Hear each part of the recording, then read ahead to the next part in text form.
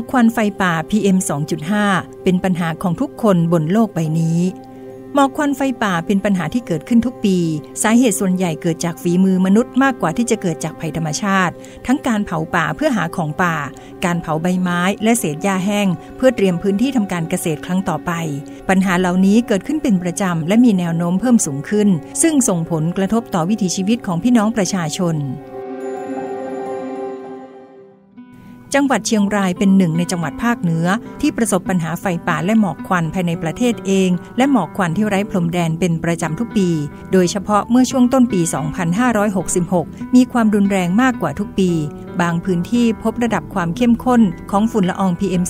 2.5 มากกว่า 500 ไมโครกรัมต่อลูกบาศก์เมตร ในปี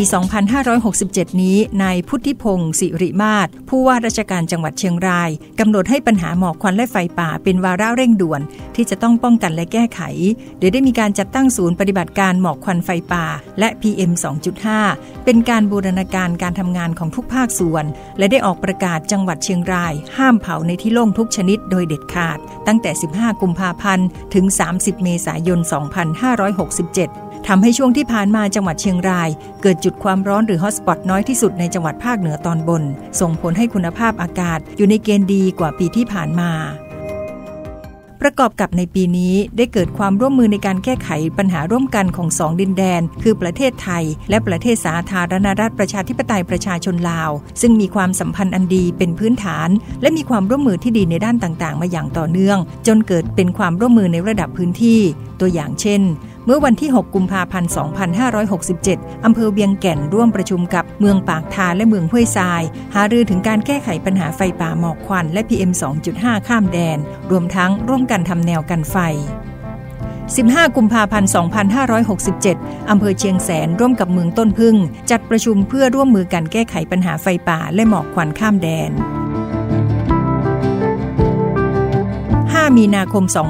2567 อำเภอเทิงร่วมกับเมืองคอบแขวงชยบุรี ได้ทำข้อตกลงร่วมกันในการประชาสัมพันธ์ รณรงค์แก้ไขปัญหาไฟป่าหมอกควัน และเรื่องการบริหารจัดการเชื้อเพลิง วัสดุเหลือใช้ทางการเกษตร รวมถึงขยะมูลฝอยในครัวเรือน 6 มีนาคม 2567 อำเภอเทิงร่วมกับเมืองปากทาแขวงบ่อแก้ว ร่วมกันจัดทำแนวกันไฟ 2 แผ่นดิน บริเวณแนวชายแดนภูชีฟ้าของจังหวัดเชียงราย และพื้นที่บริเวณแขวงชัยบุรีและแขวงบ่อแก้ว เกิดฮอตสปอตต่ำกว่าปีที่ผ่านมาอย่างเห็นได้ชัด 7 มีนาคม สภาลมหายใจเชียงราย จัดเสวนาลมหายใจไทยลาว ยกระดับความร่วมมือจัดการปัญหาไฟป่าหมอกควัน ในเขตรอยต่อตามแนวชายแดน เชียงแสน เชียงของเวียงแก่น แขวงบ่อแก้ว ห้วยสายและเมืองปากทาแม้ทั้งสองประเทศจะยังคงประสบปัญหาหมอกควันที่ไร้พรมแดน แต่ด้วยความร่วมมือที่ดีของสองประเทศ จะทำให้ปัญหาไฟป่าและหมอกควันลดลงได้ในไม่ช้า